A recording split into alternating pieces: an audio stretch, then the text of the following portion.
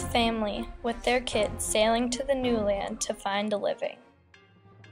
Once they settled in, they bought slaves.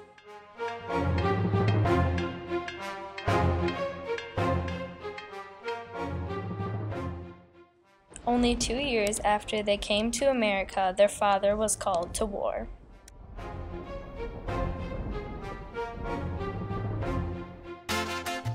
Not long after, the 13th, 14th, and 15th Amendments were passed. Now all slaves are free.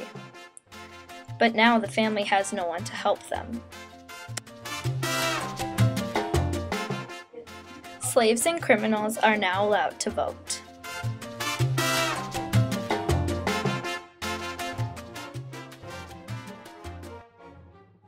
Slavery was finally outlawed, but that didn't stop the people who supported it.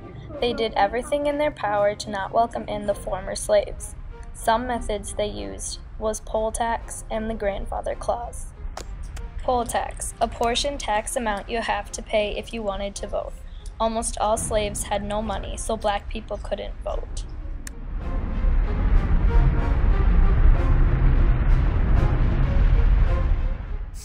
Non abolitionists went back to the old laws, one of which was called the Grandfather Clause. This stated that if your grandfather voted in the last election, you could vote in the next one. Because blacks' grandfathers couldn't vote, neither could they. Many pro slavery people went against the 15th Amendment, which states that you cannot deny a citizen's right to vote based on race, color, or previous condition of servitude. Will black people ever be welcomed in?